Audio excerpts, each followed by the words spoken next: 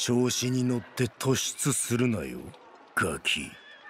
叔父上いつまでも子供扱いはやめてくれ。俺は島津のため戦うだけだ。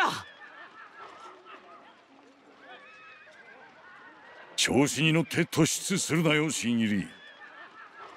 はあ？ダメですダメすぎます。俺がそんなことをすると思っている時点でダメです。あといい加減新入り扱いはやめてくれませんか？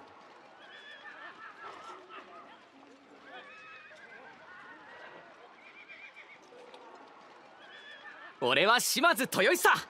さっきの話聞かせてもらった。一緒に頑固な大人たちを見返そう。